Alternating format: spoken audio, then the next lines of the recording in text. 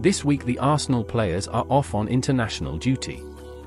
This normally is a quiet period for news however, there has been players withdrawn from international duty, transfer news and injury updates. Firstly looking at the players not on international duty, Takehiro Tomiyasu has not been called up to the Japan national team for their upcoming World Cup qualifiers against North Korea next week, with manager Hajime Moriyasu adopting a player-first approach to ensure Tomiyasu can fully recover from his recent injury.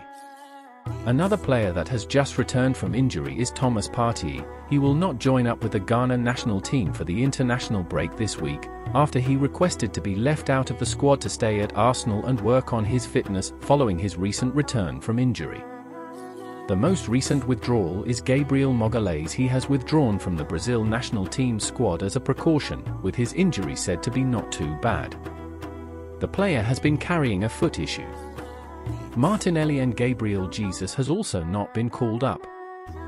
Onto potential transfer incomings, Viktor Gyökeres is emerging as an increasingly strong target for Arsenal, with a new striker their priority this summer. The club are yet to finalise their decision on who will be their main target, but it is understood that they have been getting information on the cost of the potential deal for Gyökeres, which would likely be at below his 100 million euro release clause, though still at a significant cost.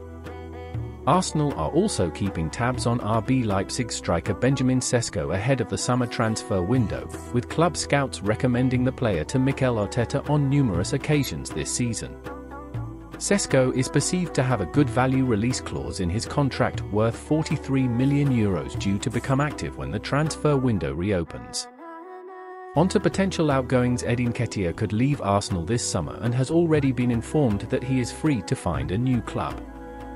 Team Talk can reveal that Wolves are among the Premier League sides chasing him, while Crystal Palace, Fulham and Brentford all hold an interest. Brighton are keeping tabs on Arsenal winger Reiss Nelson ahead of a potential summer move, sources have told Football Insider. Arsenal are hopeful that Nelson could fetch a fee between £25 million to £30 million if he does leave this summer. Now with the good news barring any setbacks, Jurrien Timber will return for Arsenal after the international break.